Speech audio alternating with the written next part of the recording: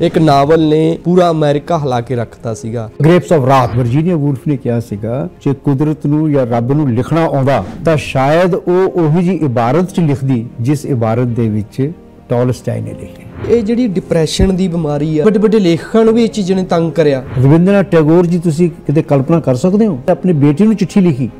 ਵੀ ਮੈਂ ਅੱਜਕੱਲ ਬਹੁਤ ਸੀਰੀਅਸਲੀ ਆਤਮ ਹੱਤਿਆ ਕਰਨ ਵਾਸਤੇ ਸੋਚ ਰਿਹਾ। 50 ਸਾਲ ਦੀ ਉਮਰ ਜਦੋਂ ਸਾਰੀ ਦੁਨੀਆ ਦੇ ਵਿੱਚ ਟੋਲਸਟਾਈ ਟੋਲਸਟਾਈ ਹੁੰਦੀ ਸੀ ਵੀ ਉਹਦੇ ਵਰਗਾ ਕੋਈ ਨੋਵਲਿਸਟ ਹੈ ਨਹੀਂ ਦੁਨੀਆ ਦੇ ਵਿੱਚ। ਉਹ ਸ਼ਖਸ ਜਿਹੜਾ ਹੈਗਾ ਸੁਸਾਈਡ ਕਰਨ ਵਾਸਤੇ ਆਮਾਦਾ ਸੀ। ਓਵਰਕੋਟ ਦੀਆਂ ਜੇਬਾਂ 'ਚੋਂ ਫਿਰ ਕੀ ਕੀ ਨਿਕਲਿਆ? ਹਾਂ ਉਹ ਦਸਤਵਸਕੀ ਨੇ ਕਿਹਾ ਜੀ ਅਸੀਂ ਸਾਰੇ ਰਸ਼ੀਨ ਲੇਖਕ ਹੂੰ। ਗੋਗੋਲ ਦੇ ਓਵਰਕੋਟ ਦੀ ਜੇਬ ਚੋਂ ਨਿਕਲੇ।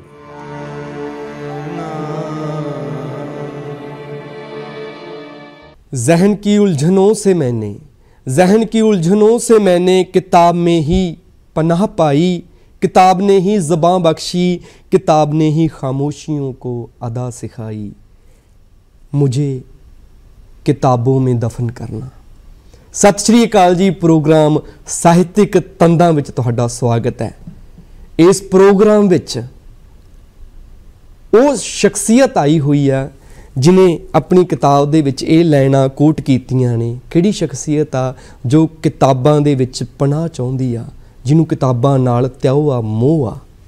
ਕੌਣ ਹੈ ਉਹ ਸ਼ਖਸੀਅਤ ਜਿਹੜੀ, ਅ, ਕਹ ਲੋ 5 ਰੁਪਏ ਦੀਆਂ ਕਿਤਾਬਾਂ ਲਿਆ ਕੇ ਮੁੰਸ਼ੀ ਪ੍ਰੇਮ ਚੰਦ ਦੀਆਂ ਤੇ ਕਿਤਾਬਾਂ ਵਾਲੇ ਪਾਸੇ ਔਲ ਗਏ ਪੜਨ ਵਾਲੇ ਪਾਸੇ ਔਲੇ, ਘਰ ਦੇ ਵਿੱਚ ਹੀ ਜਿਨ੍ਹਾਂ ਦੇ ਘਰ ਨੂੰ ਗਿਆਨਪੀਠ ਵਾੜੀ ਗੁਰਦਿਆਲ ਸਿੰਘ ਜੀ ਨੇ ਕਿਹਾ, ਹੋਮ ਯੂਨੀਵਰਸਿਟੀ। ਕੌਣ ਨੇ ਜਿਹੜੇ ਜਿਹੜੇ ਕਿਤਾਬਾਂ ਲਿਖਦੇ ਨਹੀਂ, ਵਿਸ਼ਵ ਦੇ ਸ਼ਾਹਕਾਰ ਨਾਵਲ ਲਿਖਦੇ ਨਹੀਂ, ਵਿਖਾਉਂਦੇ ਨੇ ਕੌਣ ਨੇ ਉਹ ਜਿਨ੍ਹਾਂ ਨੇ ਪੰਜਾਬੀ ਦੀ ਝੋੜੀ ਦੇ ਵਿੱਚ ਵਿਸ਼ਵ ਦੇ ਸ਼ਾਹਕਾਰ ਨਾਵਲਾਂ ਨੂੰ ਧਰਤਾ? ਪੰਜਾਬੀਆਂ ਦੀ ਪਹੁੰਚ 'ਚ ਵਿਸ਼ਵ ਦੇ ਸ਼ਾਹਕਾਰ ਨਾਵਲ ਲਿਆ ਧਰੇ।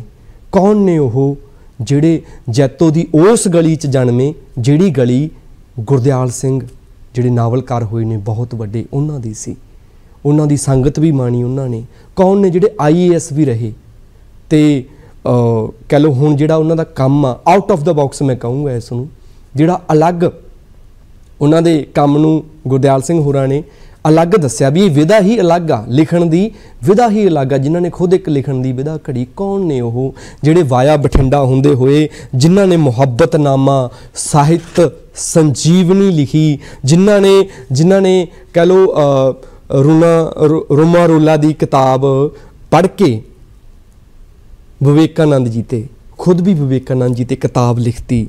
ਇੱਕ ਆਵਾਰਾ ਰੂਹ ਦਾ ਰੋਜ਼ ਰੋਜ਼ਨਾਮਚਾ ਜਿਹੜੇ ਲਿਖਦੇ ਨੇ, ਕੌਣ ਨੇ ਉਹ ਤੇ ਕੌਣ ਨੇ ਉਹ ਜੋ ਵਿਸ਼ਵ ਦੇ ਸ਼ਾਹਕਾਰ ਸਾਹਿਤ ਦੇ ਜਿਹੜੇ ਵੱਡੇ ਨਾਵਲ ਨੇ, ਉਹਨਾਂ ਨੂੰ ਜਿਨ੍ਹਾਂ ਨੇ ਆਪਣੀ ਭਾਸ਼ਾ ਵਿੱਚ ਲਿਖਿਆ, ਅਨੁਵਾਦ ਨਹੀਂ ਕਰਿਆ, ਖੁਦ ਰੀਰਾਈਟ ਕਰਿਆ, ਗਾਗਰ ਚ ਸਾਗਰ ਭਰਿਆ ਪੰਜ ਪੰਜ ਕਹਿ ਲਓ ਵੀ ਗਾਗਰਾਂ ਜਿਹਦੇ ਵਿੱਚ 66 ਨਾਵਲ ਨੇ ਜਿਹਦੇ ਵਿੱਚ ਐਨੇ ਸਾਗਰ ਉਹਨਾਂ ਨੇ ਭਰੇ ਹੋਏ ਨੇ।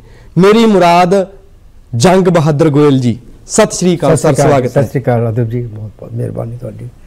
ਤੁਸੀਂ ਬਹੁਤ ਖੂਬਸੂਰਤ ਸ਼ਬਦ ਮੇਰੇ ਵਾਸਤੇ ਵਰਤੇ ਹੈ ਤੇ ਸ਼ਾਇਦ ਮੈਂ ਇਹਨਾਂ ਸ਼ਬਦਾਂ ਦੇ ਕਾਬਿਲ ਵੀ ਨਹੀਂ ਹੈ।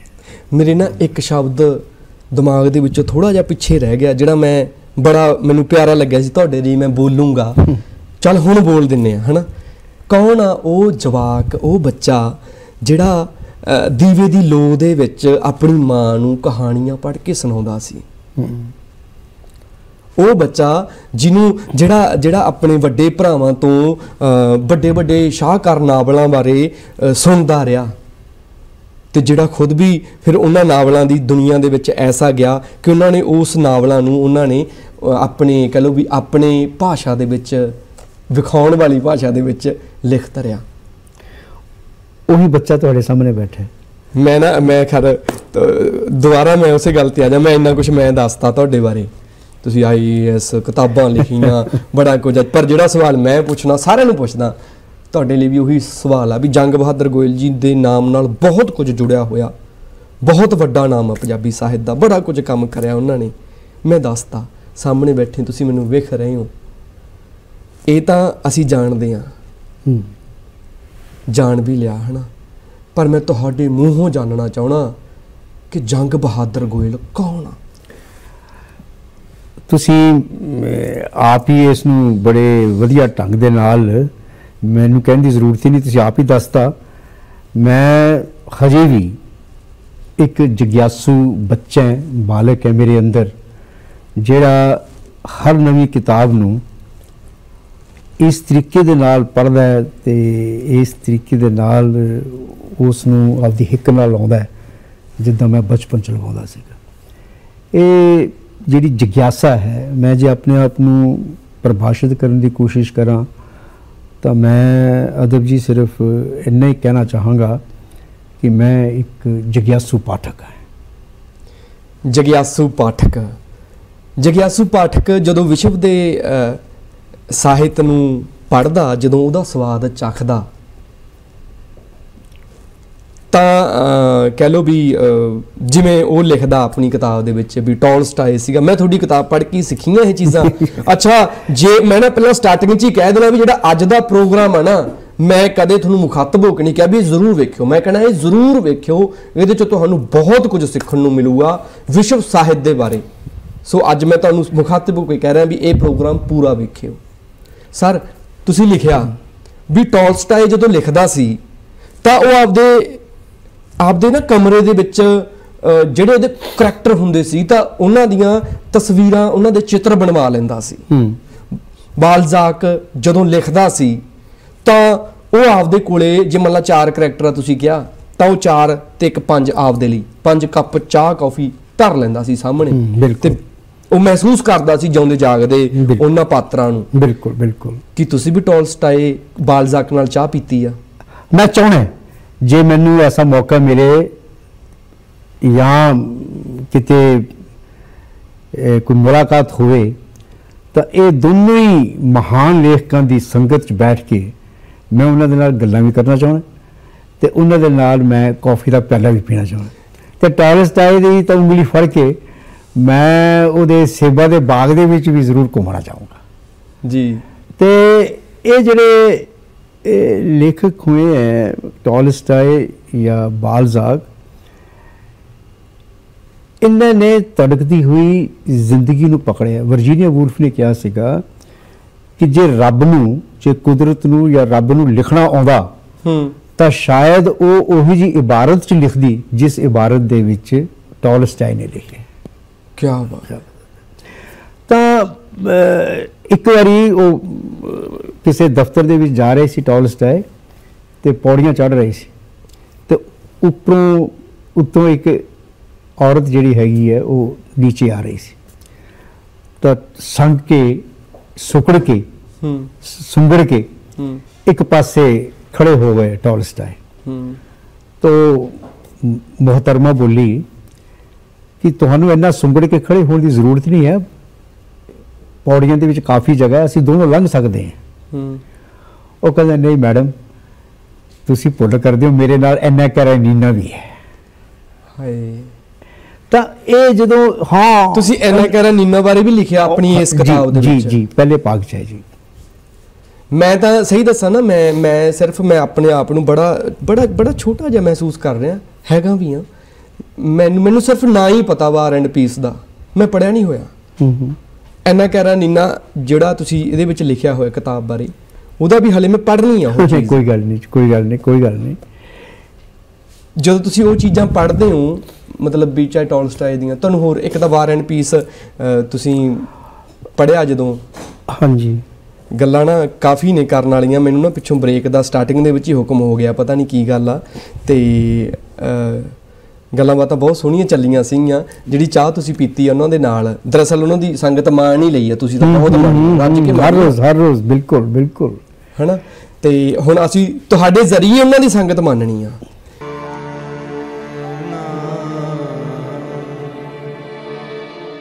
ਤੇ ਮੈਨੂੰ ਇਸ ਇਸ ਚੀਜ਼ ਦਾ ਮਾਣ ਆ ਜੀ ਕਿ ਤੁਸੀਂ ਜੈਤੋ ਦੇ ਹੋ। ਤੇ ਮੇਰਾ ਵੀ ਉਹੀ ਬਠਿੰਡਾ ਏਰੀਆ ਆ ਜਾਂਦਾ ਹੈਗਾ ਮਾਲਵਾ।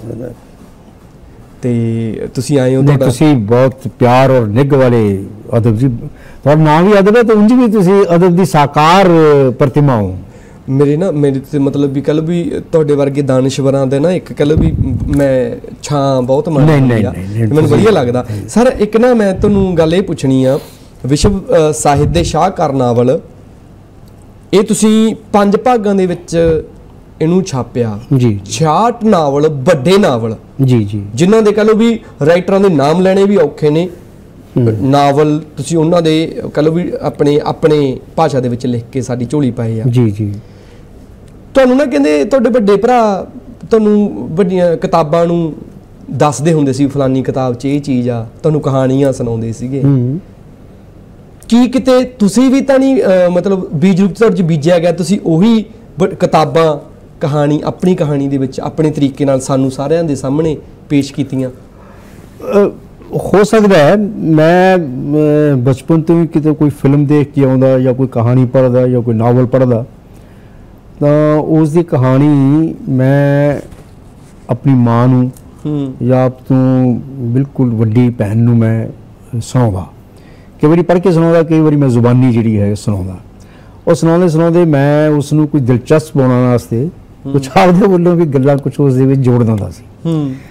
ਤਾਂ ਸ਼ਾਇਦ ਮਤਲਬ ਮੈਨੂੰ ਘਰ ਦੇ ਵਿੱਚ ਕਹਿੰਦੇ ਸੀਗੇ ਬਈ he is a very good storyteller ਤੇ ਕਹਾਣੀ ਬੜੀ ਦਿਲਚਸਪ ਢੰਗ ਨਾਲ ਦੱਸਦਾ ਕਹਿੰਦਾ। ਤਾਂ ਸ਼ਾਇਦ ਉਹ ਇਹ ਜਿਹੜੀ ਮੇਰੇ ਚ ਕੋਈ ਐਸੀ ਸੀਗੀ ਤਾਂ ਉਸੇ ਹੀ ਗੱਲ ਦਾ ਉਸੇ ਹੀ ਕੋਈ ਗੁਣ ਦਾ ਪ੍ਰਗਟਾਵਾ ਜਿਹੜਾ ਹੈਗਾ ਉਹ ਇਹਨਾਂ ਰਚਨਾਵਾਂ ਦੇ ਵਿੱਚ ਵੇਖਿਆ ਜਾ ਸਕਦਾ ਹੈ। ਮੈਂ ਦਰਅਸਲ ਸਾਰੇ ਨਾਵਲ ਦੀ ਕਹਾਣੀ ਨੂੰ ਕਥਾ ਨੂੰ ਪੂਰਾ ਆਤਮਸਾਤ ਕਰਕੇ ਹੂੰ। ਤੇ ਫਿਰ ਉਸ ਨੂੰ ਆਪਦੇ ਅੰਦਰ ਰਚਾ ਕੇ ਵਸਾ ਕੇ ਫਿਰ ਲਿਖਣ ਦੀ ਕੋਸ਼ਿਸ਼ ਕਰਦਾ ਹਾਂ ਜੀ। ਤੇ ਜਿੰਨ- ਦੇਰ ਤੱਕ ਮੈਂ ਕਿੰਨੇ ਵਾਰੀ ਮੈਨੂੰ ਇੱਕ ਹੀ ਨਾਵਲ ਨੂੰ ਕਿੰਨੇ ਵਾਰੀ ਇੱਕ ਤੋਂ ਵੱਧ ਵਾਰੀ ਪੜ੍ਹਨਾ ਪੈਂਦਾ ਤੇ ਉਹ ਪੜਨ ਉਪਰੰਤ ਜਦੋਂ ਉਸ ਦੇ ਨਾਲ ਮੈਂ ਰਹਿਣਾ ਜੀ ਉਸ ਵਾਤਾਵਰਣ ਚ ਮੈਂ ਵਿਚਰਦਾ। ਤੇ ਫਿਰ ਉਸ ਤੋਂ ਬਾਅਦ ਜਿਹੜਾ ਹੈ ਉਹ ਤੁਸੀਂ ਲਿਖਦੇ ਹੋ। ਹਾਂ ਪੁਨਰ ਲੇਖਨ ਇਹਨੂੰ ਪੁਨਰ ਲੇਖਨ ਕਹਿ ਲਓ ਇਸ ਨੂੰ ਪੁਨਰ ਸਿਰਜਣ ਕਹਿ ਲਓ ਇਸ ਨੂੰ ਰੀਟੈਲਿੰਗ ਕਹਿ ਲਓ ਕੁਝ ਕਹਿ ਲਓ। ਤੇ ਮੈਨੂੰ ਇੰਨਾ ਜ਼ਰੂਰ ਫਖਰ ਹੈ ਇਸ ਗੱਲ ਦੇ ਉੱਤੇ ਕਿ ਦੇਸ਼ ਵਿਦੇਸ਼ ਚ ਜਿੰਨੇ ਵੀ ਸਾਡੇ ਪੰਜਾਬੀ ਦੇ ਪਾਠਕ ਹੂੰ ਉਹਨਾਂ ਨੇ ਇਸ ਸਾਰੀ ਪੰਜੇ ਕਿਤਾਬਾਂ ਨੂੰ ਪੰਜੇ ਵੋਲਿਊਮਸ ਨੂੰ ਬਹੁਤ ਜ਼ਿਆਦਾ ਪਿਆਰ ਕੀਤਾ। ਤੇ ਮੇਰੀ ਅਸਲ ਦੇ ਵਿੱਚ ਪੰਜਾਬੀ ਸਾਹਿਤ ਚ ਜਿਹੜੀ ਪਛਾਣ ਬਣੀ ਹੈ ਹਾਂਜੀ। ਉਹ ਵਿਸ਼ਵ ਸਾਹਿਤ ਦੇ ਸ਼ਾਹਕਾਰ ਨਾਵਲਾਂ ਰਾਹੀਂ ਬਣੀ। ਕਹਿੰਦੇ ਕਹਿੰਦੇ ਤੁਹਾਡੇ ਇਹਨਾਂ ਕਿਤਾਬ ਕਰਕੇ ਨਾ ਇਹ ਕਿਤਾਬ ਕਰਕੇ ਵੱਡੇ ਵੱਡੇ ਪ੍ਰੋਫੈਸਰ ਤੇ ਵੱਡੇ ਵੱਡੇ ਕਹਿੰਦੇ ਨਾ ਇਹ ਕਹਿਣ ਵਾਲੇ ਹੋਗੇ ਵੀ ਜਦੋਂ ਹੁਣ ਕਲਾਸ 'ਚ ਜਾਈਦਾ ਤਾਂ ਆਪਾਂ ਦੱਸ ਸਕਦੇ ਹਾਂ। ਉਹਦਾ ਐਗਜ਼ਾਮਪਲਾਂ ਦੇ ਦੇ ਕੇ ਵੀ ਅਸੀਂ ਕੁਝ ਪੜਿਆ ਹੋਇਆ। ਇਹ ਉਹਨਾਂ ਦੀ ਇਨਾਇਤ ਹੈ ਜੀ। ਤੇ ਮਿਹਰਬਾਨੀ ਸੱਚਮੁੱਚ ਮੈਂ ਹਲੇ ਮੈਂ ਕਿਤਾਬ ਹਲੇ ਸ਼ੁਰੂ ਕਰੀ ਆ ਕੁਝ ਪੜਿਆ ਸਰ ਮੈਨੂੰ ਨਾ ਮੈਂ ਹੁਣ ਜਾਣ ਗਿਆ ਕਿ ਨਿਕੋਲਾਈ ਜਿਹੜੀ ਨਿਕੋਲਾਈ ਗੋਗੋਲ ਸੀ ਜੀ। ਉਹਦੇ ਓਵਰ ਕੋਟ ਜਿਹੜਾ ਸੀਗਾ ਬੜਾ ਫੇਮਸ ਹੋਇਆ ਉਹਦਾ। ਫੇਮਸ ਉਹਦੀ ਕਹਾਣੀ ਹੈ ਓਵਰਕੋਟ ਜੀ ਅੱਛਾ ਬੜੀ- ਓਵਰਕੋਟ ਦੀਆਂ ਜੇਬਾਂ 'ਚੋਂ ਫਿਰ ਕੀ ਕੀ ਨਿਕਲਿਆ? ਹਾਂ ਉਹ ਦਸਤਵਸਕੀ ਨੇ ਕਿਹਾ ਜੀ? ਓਵਰਕੋਟ ਦੇ ਹੁਣ ਪਿਛਲੇ 3 ਤਾਰੀਖ ਨੂੰ ਇੱਥੇ ਨਾਟਕ ਵੀ ਹੋਇਆ ਓਵਰਕੋਟ ਦੇ ਉੱਤੇ। ਹੂੰ। ਤੇ ਉਹਦਾ ਨਾਟਕੀਕਰਨ ਸੀ ਉਸ ਕਹਾਣੀ ਦਾ। ਗੋਗੋਲ ਦੀ ਇਹ ਜਿਹੜੀ ਕਹਾਣੀ ਹੈਗੀ ਹੈ ਇਹ ਬਹੁਤ ਹੀ ਵਿਸ਼ਵ ਪ੍ਰਸਿੱਧ ਕਹਾਣੀ ਹੈ। ਤੇ ਦਾਸਤੋਵਸਕੀ ਨੇ ਇੱਕ ਵੇਰਾਂ ਗੋਗੋਲ ਵਾਸਤੇ ਕਿਹਾ ਸੀਗਾ ਕਿ ਅਸੀਂ ਸਾਰੇ ਲੇਖਕ। ਅਸੀਂ ਸਾਰੇ ਰਸ਼ੀਅਨ ਲੇਖਕ ਗੋਗੋਲ ਦੇ ਓਵਰਕੋਟ ਦੀ ਜੇਬ ਚੋਂ ਨਿਕਲੇ। ਕੀ ਬਾਤ ਹੈ। ਮਤਲਬ ਉਹ ਜਿਹੜੀ ਹੋਇਆ ਕੀ ਹੈ ਕਿ ਜਿਹੜੀ ਇੱਕ ਯਥਾਰਥਵਾਦ ਦਾ ਰੀਅਲਿਜ਼ਮ ਦਾ ਔਰ ਰੀਅਲਿਜ਼ਮ ਦੇ ਨਾਲ ਨਾਲ ਇੱਕ ਇੰਡੀਵਿਜੂਅਲ ਦੇ ਆਦਮੀ ਦੇ ਅੰਦਰੂਨੀ ਸੰਸਾਰ ਦਾ ਯਥਾਰਥ ਇੱਕ ਤਾਂ ਬਾਹਰੀ ਸੰਸਾਰ ਦਾ ਯਥਾਰਥ ਹੈ ਇੱਕ ਮਨੁੱਖੀ ਮਨੁੱਖ ਦੇ ਅੰਦਰੂਨੀ ਸੰਸਾਰ ਦਾ ਜਿਹੜਾ ਯਥਾਰਥ ਹੈ। ਜਿਹੜਾ ਅਣਡਿੱਠਾ ਯਥਾਰਥ ਹੈ ਉਸ ਨੂੰ ਉਜਾਗਰ ਕਰਨਾ ਕਹਿੰਦੇ ਜਿਹੜਾ ਜਿਹੜਾ ਏਸੀ ਗੋਗੋਲ ਸੀਗਾ ਇਹ ਲੋਕਾਂ ਦੇ ਤਾਂ ਕਹਿੰਦੇ ਜੇ ਮੰਨ ਲਾ ਆਪਾਂ ਦੇਖਦੇ ਆ ਤਾਂ ਹੀਰੋ ਬਹੁਤ ਪਾਕ ਸਾਕ ਬੜਾ ਰੁਤਬੇ ਵਾਲਾ ਬੜਾ ਸੱਚ ਬੋਲਣ ਵਾਲਾ ਸੀਗਾ ਹਨਾ? ਪਰ ਇਹਨੇ ਕੁਝ ਹੋਰ ਲਿਖਿਆ? ਹਾਂ ਡੈਡ ਸੋਲਸ ਦਾ ਨਾਵਲ ਹੈਗਾ ਜੀ। ਹੂੰ। ਔਰ ਉਹਦਾ ਜਿਹੜਾ ਹੀਰੋ ਹੈ ਉਹ 네ਗੇਟਿਵ ਕਰੈਕਟਰ ਹੈ। ਉਸ ਜ਼ਮਾਨੇ ਦੇ ਵਿੱਚ ਕੀ ਸੀਗਾ ਕਿ ਜਿਸ ਕੋਈ ਐਸਾ ਵਕਤ ਸੀਗਾ ਜਦੋਂ ਜਿਹਦੇ ਕੋਲ ਪਸ਼ੂ ਜ਼ਿਆਦਾ ਹੁੰਦੇ ਸੀ ਉਹਨੂੰ ਸਭ ਤੋਂ ਅਮੀਰ ਗਿਣਿਆ ਜਾਂਦਾ ਸੀ। ਰੂਸ ਦੇ ਵਿੱਚ 19ਵੀਂ 18ਵੀਂ 19ਵੀਂ ਸਦੀ ਦਾ ਵਕਤ ਐਸਾ ਵਕਤ ਸੀਗਾ ਜਿਹਦੇ ਕੋਲ ਜ਼ਿਆਦਾ ਗੁਲਾਮ ਹੁੰਦੇ ਸੀਗੇ। ਹੂੰ। ਉਹਨੂੰ ਜ਼ਿਆਦਾ ਸਭ ਤੋਂ ਜ਼ਿਆਦਾ ਅਮੀਰ ਗਿਣਦੇ ਸੀ। ਅੱਛਾ। ਤੇ ਗੁਲਾਮਾਂ ਦੇ ਸਿਰ ਤੇ ਜਿੰਨੇ ਗੁਲਾਮ ਹੈਗੇ ਆ ਉਹਨਾਂ ਨੂੰ ਗਿਰਵੀ ਰੱਖ ਕੇ ਉਹਨੇ ਹੀ ਤੁਸੀਂ ਬੈਂਕ ਤੋਂ ਪੈਸਾ ਲੈ ਸਕਦੇ ਸੀ ਉਧਾਰ ਲੈ ਸਕਦੇ ਸੀ। ਜਿੱਦਾਂ ਆਪਾਂ ਜ਼ਮੀਨ ਗਿਰਵੀ ਕਰਕੇ ਗੁਲਾਮ ਗਿਰਵੀ ਰੱਖ ਕੇ ਪੈਸਾ ਲੈ ਸਕਦੇ ਗੁਲਾਮ ਅੱਛਾ ਹੁਣ ਗੁਲਾਮਾਂ ਦੀ ਜਿਹੜੀ ਸੈਂਸਸ ਹੈਗੀ ਹੈ ਜਿਹੜੀ ਉਹਨਾਂ ਦੀ ਮਰਦਮਸ਼ੁਮਾਰੀ ਹੈ। ਉਹ ਕਈ ਕਈ ਸਾਲ ਲੱਗ ਜਾਂਦੀ ਸੀ ਹੁੰਦੀ ਨਹੀਂ ਸੀ। ਤਾਂ ਉਹ ਕਈ ਜਿਹੜੇ ਗੁਲਾਮ ਮਰ ਜਾਂਦੇ ਸੀ। ਉਹ ਮਰੇ ਗੁਲਾਮਾਂ ਦੇ ਸਿਰ ਦੇ ਉੱਤੇ ਵੀ ਉਹ ਲੋਨ ਲੈ ਲੈਂਦੇ ਸੀ। ਲੋਨ ਲੈ ਲੈਂਦੇ ਸੀ। ਅੱਛਾ। ਤਾਂ ਹੁਣ ਉਹ ਜਿਹੜਾ ਹੀਰੋ ਹੈ ਇਸ ਡੈਡ ਸੋਲਸ ਦਾ ਹਾਂ। ਉਹ ਥਾਂ ਥਾਂ ਜਾ ਕੇ ਉਹ ਡੈਡ ਜਿਹੜੇ ਮਜ਼ਦੂਰ ਹੈ। ਡੈਡ ਸਲੇਵਸ ਹੈ। ਉਹਨੇ ਉਹ- ਉਹ- ਉਹਨਾਂ ਦੀ ਉਹਨਾਂ ਦਾ ਜਿਹੜਾ ਹੈਗਾ ਨਾ ਜੀ ਰਾਈਟ ਹੈ। ਰਿਕਾਰਡ ਰਿਕਾਰਡ ਹੈ ਰਾਈਟ। ਹੈ। ਉਹਨੂੰ ਖਰੀਦ ਰਿਹਾ ਹੈ। ਹਾਂ। ਵੇਚਣ ਵਾਸਤੇ। ਵੇਚਣ ਵਾਸਤੇ। ਕਹਿੰਦੇ ਇਹ ਮਤਲਬ ਇਹ ਜਿਹੜੀ ਇੱਕ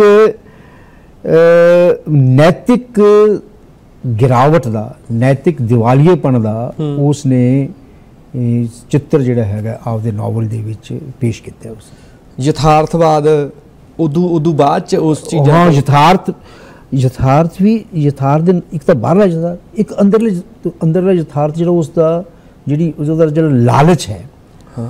ਉਸ ਦਾ ਜਿਹੜਾ ਉਹਦੇ ਜਿਹੜੇ ਵਿਅਕਤੀਤਵ ਦਾ ਘਿਨੌਨਾਪਣ ਹੈ ਹੂੰ। ਜਿਹੜੀ ਉਹਦੀ ਜ਼ਲਾਲਤ ਔਰ ਗਲਾਜ਼ਤ ਹੈ ਉਹਦੇ ਚਰਿੱਤਰ ਦੀ ਉਹ ਬਾਹਰ ਆਈ। ਕਿੰਨਾ ਕਿੰਨਾ ਮਤਲਬ ਵੀ ਉਹਨੇ ਸੋਚਿਆ ਹੈ ਨਾ ਉਹਨੇ ਆਪ ਦਾ ਜਿਹੜਾ ਮੇਨ ਕੈਰੈਕਟਰ ਆ ਜਿਹੜਾ ਹੀਰੋ ਆ ਉਸ ਨੂੰ 네ਗੇਟਿਵ ਵਿਖਾਇਆ ਤੇ ਉਹਦੇ ਸਾਰੇ ਪਾਸੇ ਨੂੰ ਹਾਂ ਹਾਂ ਬਿਲਕੁਲ। ਔਰ ਇਹ ਸਮਾਜ ਦਾ ਉਸ ਕਈ ਜਗ੍ਹਾ ਤੇ ਘੁੰਮਦਾ ਹੈ। ਹੂੰ। ਔਰ ਐਸਾ ਉਹ ਜਾਲ ਜਾ ਵਿਛਾਉਂਦਾ ਹੈ ਵੀ ਬੜਾ ਰਿਸਪੈਕਟੇਬਲ ਹੈ ਜੀ ਉਸ ਨੂੰ ਬੜੀਆਂ ਬੜੀਆਂ ਪਾਰਟੀਆਂ ਚ ਬੁਲਾਇਆ ਜਾਂਦਾ ਜਿਵੇਂ ਵੈਸੇ ਮਨੁੱਖ ਵੀ ਆਪਾਂ ਨਾ ਬਾਹਰ ਬਾਹਰੋਂ ਕੁਝ ਹੋਰ ਹੁੰਨੇ ਅੰਦਰੋਂ ਕੁਝ ਹੋਰ ਹੁੰਨੇ ਆ ਉਹਨੇ ਉਸ ਦੇ ਚਿੱਤਰਨ ਕਰਿਆ। ਉਸੇ ਦਾ ਚਿੱਤਰਣ ਕੀਤਾ। ਤੇ ਬਾਅਦ ਚ ਉਹਦੀ ਇਹਨੇ ਸੈਕੰਡ ਪਾਰਟ ਵੀ ਇਸ ਦਾ ਨਾ ਡੈਡ ਸੋਲਸ ਤੋਂ ਬਾਅਦ ਕਹਿੰਦੇ। ਛਪਿਆ ਸੀਗਾ? ਹਾਂ ਨਹੀਂ ਉਹ ਫਿਰ ਉਹਨਾਂ ਨੇ ਇਹ ਜਲਾਤਾ ਸੀ। ਗੋਗੋਲ ਨੇ ਉਹ ਜਲਾਤਾ ਸੀ। ਔਰ ਗੋਗੋਲ ਦੀ ਡੈਥ ਤੋਂ ਬਾਅਦ ਤੁਰਗਨੇਵ ਨੇ ਬਹੁਤ ਹੀ ਜਿਹੜੇ ਹੈ ਜਜ਼ਬਾਤੀ ਹੋ ਕੇ ਉਹਨਾਂ ਨੂੰ ਸ਼ਰਧਾਂਜਲੀ ਪੇਂਟ ਕੀਤੀ ਸੀ ਹੂੰ। ਵੀ ਇਹ ਚਲੇ ਗਏ ਤੇ ਹੁਣ ਜਿਹੜੇ ਮਜ਼ਲੂਮਾਂ ਦੀ ਔਰ ਸ਼ੋਸ਼ਿਤ ਲੋਕਾਂ ਦੀ ਜਿਹੜੀ ਕਹਾਣੀ ਹੈਗੀ ਹੈ ਉਹ ਕੌਣ ਲਿਖੂਗਾ? ਗੋਗੋਲ ਤਾਂ ਸਾਡੇ ਕੋਲ ਚਲਿਆ ਗਿਆ। ਸਰ ਤੁਹਾਡੀ ਨਾ ਇਸੇ ਗੱਲ ਤੋਂ ਜਿਹੜੇ ਮਜ਼ਲੂਮਾਂ ਦੀ ਦੱਬੇ ਕੁਚਲਿਆਂ ਦੀ ਗੁਲਾਮਾਂ ਦੀ ਗੱਲ ਕੌਣ ਕਰੂਗਾ? ਤੁਹਾਡਾ ਨਾ ਇੱਕ ਤੁਸੀਂ ਇਸੇ ਦੇ ਵਿੱਚ ਇੱਕ ਹੋਰ ਬਹੁਤ ਸੋਹਣਾ ਨਾਵਲ ਆ ਜਿਹੜਾ ਤੁਸੀਂ ਗਾਗਰ ਚ ਸਾਗਰ ਭਰੀ ਹੋਈ ਆ ਗਾਗਰ ਚ ਸਾਗਰ ਬੰਦ ਕਰਿਆ ਹੋਇਆ। Grapes Grapes of Wrath. Of the Wrath Grapes of ਰਾਤ। ਸਰ ਮੈਨੂੰ ਬੜਾ ਉਹਨੇ ਡਿਸਟਰਬ ਕਰਿਆ ਜਦੋਂ ਮੈਂ ਪੜਿਆ ਉਹ। ਕਿਸ ਚੀਜ਼ ਨੇ ਡਿਸਟਰਬ ਕੀਤਾ ਤੁਹਾਨੂੰ? ਜਿਹੜਾ ਜਿਹੜਾ ਉਹਦੇ ਵਿੱਚ ਉਹ ਕਿੱਦਾਂ ਰੁਲ ਰਹੇ ਆ ਕਿੱਦਾਂ ਬੈਂਕ ਤੇ ਕਿੱਦਾਂ ਕੰਪਨੀਆਂ ਜ਼ਮੀਨਾਂ ਹੜੱਪ ਲਈਆਂ ਮਜ਼ਦੂਰ ਬਣਾਤੇ ਜਿਹੜੇ ਉੱਥੇ ਘਰ 'ਚ ਰਹਿੰਦੇ ਆ ਉਹ ਬੜਾ ਕੁਝ ਹੈ ਉਹਦੇ 'ਚ ਇਹੋ ਜਿਹਾ ਸੀਗਾ? ਹੂੰ ਹੂੰ। ਤਾਂ ਮੈਨੂੰ ਉਹ ਮੈਨੂੰ ਮਤਲਬ ਬੜਾ ਚਿੱਤ ਔਖਾ ਹੋਇਆ ਉਹ ਚੀਜ਼ ਤੁਸੀਂ ਇਸ ਨੂੰ ਜਿਹੜਾ ਹੈਗਾ ਹੁਣੇ ਸਾਡਾ ਕਿਸਾਨੀ ਸੰਘਰਸ਼ ਵੀ ਹੋ ਕੇ ਹਟਿਆ। ਹੂੰ। ਤੇ ਇਹ ਜੀ ਸਥਿਤੀ ਜਿਹੜੀ ਹੈਗੀ ਹੈ ਉਸ ਵੇਲੇ ਅਮਰੀਕਾ ਦੇ ਵਿੱਚ ਇਹ ਸੀਗੀ ਜਦੋਂ ਕਾਰਪੋਰੇਟ ਵਰਲਡ ਜਿਹੜਾ ਹੈਗਾ ਉਹ ਜ਼ਮੀਨਾਂ ਨੂੰ ਟੇਕ ਓਵਰ ਕਰ ਰਿਹਾ ਸੀਗਾ। ਹੂੰ। ਤਾਂ ਇਹ ਜਿਹੜੇ ਖੇਤੀ ਹਰ ਮਜ਼ਦੂਰ ਛੋਟੇ ਛੋਟੇ ਛੋਟੀ ਛੋਟੀ ਜ਼ਮੀਨਾਂ ਸੀਗੀਆਂ ਥੋੜੀਆਂ ਜ਼ਮੀਨਾਂ ਸੀਗੀਆਂ ਹੋਲਡਿੰਗ ਉਹਨਾਂ ਨੂੰ ਉਜਾੜ ਕੇ ਜਿਹੜਾ ਹੈਗਾ ਉਹ ਕਹਿੰਦੇ ਵੀ ਤੁਸੀਂ ਕੈਲੀਫੋਰਨੀਆ ਚਲੇ ਜਾਓ ਤੇ ਉੱਥੇ ਬਾਗਾਂ ਦੇ ਅੰਗੂਰਾਂ ਦੇ ਬਾਗਾਂ ਦੇ ਵਿੱਚ ਫਲਾਂ ਦੇ ਕੈਲੀਫੋਰਨੀਆ ਚ ਫਰੂਟ ਬਹੁਤ fruit ਬਹੁਤ ਆ। ਉੱਥੇ ਤੁਸੀਂ ਮਜ਼ਦੂਰੀ ਕਰਿਓ। ਤਾਂ ਉੱਥੇ ਉਹਨਾਂ ਦੀ ਬੜੀ ਦੁਰਦਸ਼ਾ ਹੋਈ। ਤਾਂ ਸਟੈਨਬੈਕ ਨੇ ਉਸ ਦੁਰਦਸ਼ਾ ਨੂੰ ਆਪਦੇ ਇਸ ਨਾਵਲ ਦੇ ਵਿੱਚ ਬਿਆਨ ਕੀਤਾ ਹੈ। ਇਹ ਨਾਵਲ ਦੀ ਜਦੋਂ ਚਰਚਾ ਹੋਈ ਤਾਂ ਰੂਜ਼ਵੈਲਟ ਉਸ ਵੇਲੇ ਪ੍ਰੈਜ਼ੀਡੈਂਟ ਸੀ। ਪ੍ਰੈਜ਼ੀਡੈਂਟ ਸੀਗੇ। ਰਾਸ਼ਟਰਪਤੀ। ਅੱਛਾ ਅਮਰੀਕਾ ਦੇ ਵਿੱਚ ਗ੍ਰੇਟ ਡਿਪਰੈਸ਼ਨ ਚੱਲ ਰਿਹਾ ਸੀ। ਬਹੁਤ ਬੜਾ ਡਿਪਰੈਸ਼ਨ ਸੀਗਾ। ਉਹ ਹੈ ਜਿਹਾ ਇਕਨੋਮਿਕ ਡਿਪਰੈਸ਼ਨ ਜਿਹੜਾ ਹੈਗਾ। ਉਹ ਅਮਰੀਕਾ 'ਚ ਕਦੇ ਨਹੀਂ ਆਇਆ ਜਿਹੜਾ ਉੱਨੀ- 1929 ਤੋਂ ਲੈ ਕੇ 1939 ਤੱਕ ਇੱਕ ਦਹਾਕਾ ਜਿਹੜਾ ਹੈਗਾ ਪੂਰਾ ਉਹ ਸੀਗਾ। ਹੂੰ। ਤਾਂ ਉਸ ਦੇ ਵਿੱਚ ਰੂਜ਼ਵੈਲਟ ਨੇ ਆਪਦੀ ਵਾਈਫ ਨੂੰ ਲੇਡੀ ਰੂਜ਼ਵੈਲਟ ਨੂੰ ਹੂੰ। ਕੈਲੀਫੋਰਨੀਆ ਭੇਜਿਆ ਵੀ ਤੁਸੀਂ ਉੱਥੇ ਜਾਓ। ਹੂੰ। ਤੇ ਉੱਥੇ ਜਾ ਕੇ ਖੇਤੀ ਹਰ ਮਜ਼ਦੂਰਾਂ ਦੀ ਤੁਸੀਂ ਹਾਲਤ ਦੇਖ ਕੇ ਆਓ। ਜੀ। ਤਾਂ ਲੇਡੀ ਰੂਜ਼ਵੈਲਟ ਨੇ ਉਹ ਸਾਰਾ ਮੁਆਇਨਾ ਕੀਤਾ ਬੜੇ ਦਿਨ ਉੱਥੇ ਰਹੇ। ਤੇ ਉਸ ਤੋਂ ਬਾਅਦ ਉਹਨਾਂ ਨੇ ਜਿਹੜੀ ਰਿਪੋਰਟ ਸਬਮਿਟ ਕੀਤੀ ਉਹਦੇ ਵਿੱਚ ਲਿਖਿਆ ਵੀ ਸਟੈਨਬੈਕ ਦਾ ਨਾਵਲ ਤਾਂ ਆਈਸਬਰਗ ਦੀ ਸਿਰਫ ਇੱਕ ਟਿਪ ਦਿਖਾ ਰਿਹਾ ਹੈ। ਓਹੋ। ਹਾਲਾਤ ਤਾਂ ਇੰਨੇ ਨਾਜ਼ੁਕ ਹੋਏ ਹੈ ਕਿ ਜੇ ਅਸੀਂ ਇਸ ਵੱਲ ਧਿਆਨ ਨਾ ਦਿੱਤਾ ਤਾਂ ਅਮਰੀਕਾ ਆਪਦੇ ਬੋਝ ਹੇਠਾਂ ਹੀ ਦਬ ਕੇ ਮਰ ਜਾਏ ਖਤਮ ਹੋ ਜਾਏਗਾ। ਦੇਖੋ ਕਿੱਡਾ ਅਸਰ ਹੋਇਆ। ਅਸਰ ਹੋਇਆ ਉਸ ਨਾਵਲ ਦਾ। ਨੋਵਲ ਦਾ। ਔਰ ਫਿਰ ਰੂਜ਼ਵੈਲਟ ਨੇ ਕਾਂਗਰਸ ਨੂੰ ਕਿਹਾ ਹੂੰ। ਕਿ ਇਸ ਇੱਕ ਮਤਾ ਪਾਸ ਕਰੋ ਇੱਕ ਕਾਨੂੰਨ ਪਾਸ ਕਰੋ ਉਹਨਾਂ ਮਜ਼ਦੂਰਾਂ ਦੀ ਰੱਖਿਆ ਵਾਸਤੇ ਰਾਖੀ ਵਾਸਤੇ ਉਹਨਾਂ ਦੀਆਂ ਜਿਹੜੀਆਂ ਇੱਕ ਤਾਂ ਜੌਬ ਸਿਕਿਉਰ ਕਰੋ ਹੱਕਾਂ ਲਈ। ਹੱਕਾਂ ਦੀ। ਜੌਬ। ਸਿਕਿਉਰ ਕਰਨ ਦੇ ਨਾਲ ਨਾਲ ਉਹਨਾਂ ਦੀ ਜਿਹੜੀ ਏਵਜ਼ ਹੈ ਉਹਦੀ ਜਿਹੜੀ ਤਨਖਾਹ। ਹਾਂ ਤਨਖਾਹ ਹੈ ਉਹ ਨਿਸ਼ਚਿਤ ਕਰੋ। ਉਹ ਡੀਸੈਂਟ ਉਹਨਾਂ ਦੀ ਤਨਖਾਹ ਹੋਣੀ ਚਾਹੀਦੀ ਹੈ। ਔਰ ਫਿਰ ਜਿਹੜਾ ਬਾਗ ਦਾ ਮਾਲਕ ਉਹਨਾਂ ਨੂੰ ਆਪਦੇ ਕੋਲੇ ਰੱਖੇ ਹਾਂਜੀ। ਉਹ ਉਹਦੇ ਵਾਸਤੇ ਉਹਨਾਂ ਦੀ ਰਿਹਾਇਸ਼ ਦਾ ਪ੍ਰਬੰਧ ਵੀ ਕਰੇ ਇਹ ਜਿਹਾ ਉਸ ਦੇ ਵਿੱਚ ਉਹਨਾਂ ਦੇ ਦੇਖੋ ਜੀ ਇੱਕ ਕਲਮ ਜਦੋਂ ਝਰੀਟੀ ਜਾਂਦੀ ਹੈ ਜਦੋਂ ਲਿਖੀ ਜਾਂਦੀ ਹੈ ਤਾਂ ਉਹ ਅ, ਕਹਿ ਲਓ ਵੀ ਦੁਨੀਆ ਨੂੰ ਆਇਨਾ ਸ਼ੀਸ਼ਾ ਵਿਖਾ ਦਿੰਦੀ ਆ। ਇੱਕ ਨਾਵਲ ਨੇ ਪੂਰਾ ਅਮਰੀਕਾ ਹਿਲਾ ਕੇ ਰੱਖਤਾ ਸੀਗਾ।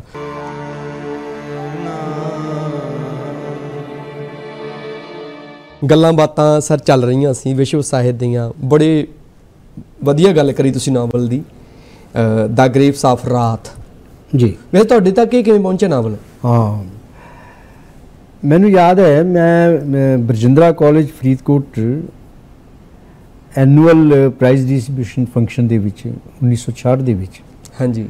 ਮੈਨੂੰ ਐਕੈਡੈਮਿਕ ਤੇ ਐਕਸਟਰਾ ਕਰਿਕੂਲਰ ਐਕਟੀਵਿਟੀਜ਼ ਦੇ ਵਿੱਚ ਕਾਫੀ ਇਨਾਮ ਕਈ ਕਿਤਾਬਾਂ ਇਨਾਮ 'ਚ ਮਿਲੀਆਂ। ਤੇ ਉਹਨਾਂ 'ਚੋਂ ਇੱਕ ਕਿਤਾਬ ਇਹ ਸੀ। ਉਹਨਾਂ ਦਿਨਾਂ ਦੇ ਵਿੱਚ ਅਦਬ ਜੀ ਜਿਹੜਾ ਸਕੂਲਾਂ ਔਰ ਕਾਲਜਾਂ ਦੇ ਵਿੱਚ ਜਿਹੜੇ ਇਨਾਮ ਪੁਰਸਕਾਰ ਦਿੱਤੇ ਜਾਂਦੇ ਸੀ ਉਹ ਕਿਤਾਬਾਂ ਦੇ ਰੂਪ 'ਚ ਦਿੱਤੇ ਜਾਂਦੇ ਸੀ। ਕੀ ਬਾਤ। ਤੇ ਉਹ ਕਿਤਾਬਾਂ ਬੜੀਆਂ ਸਾਨੂੰ ਅਜ਼ੀਜ਼ ਹੋ ਜਾਂਦੀਆਂ ਸੀ ਜੀ।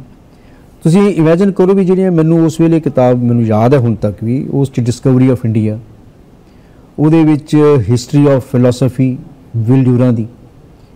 ਹਾਂਜੀ ਉਹਦੇ ਵਿੱਚ ਗ੍ਰੇਪਸ ਆਫ ਰਾਤ ਹਾਂਜੀ। ਉਸ ਦੇ ਵਿੱਚ ਸੰਸਕ੍ਰਿਤੀ ਕੇ ਚਾਰ ਅਧਿਆਏ ਰਾਮਧਾਰੀ ਸਿੰਘ ਦਿਨਕਰ ਦੀ ਕਿੰਨਾ ਬੜਾ ਗ੍ਰੰਥ ਹੈ। ਇਹ ਜੀਆਂ ਮਹਾਨ ਕਿਤਾਬਾਂ ਜਿਹੜੀਆਂ ਹੈਗੀਆਂ ਉਹ ਇਨਾਮ 'ਚ ਮਿਲੀਆਂ। ਪਰ ਅੱਜ ਕੱਲ ਮੈਨੂੰ ਦੁੱਖ ਹੈ ਕਿ ਸਕੂਲਾਂ ਕਾਲਜਾਂ ਦੇ ਵਿੱਚ ਜਿਹੜੇ ਕਿਤਾਬ ਕਿਤਾਬਾਂ ਦੀ ਥਾਂ ਤੇ ਉਹ ਸੋਵੀਨੀਅਰ ਦੇਣ ਲੱਗ ਗਏ।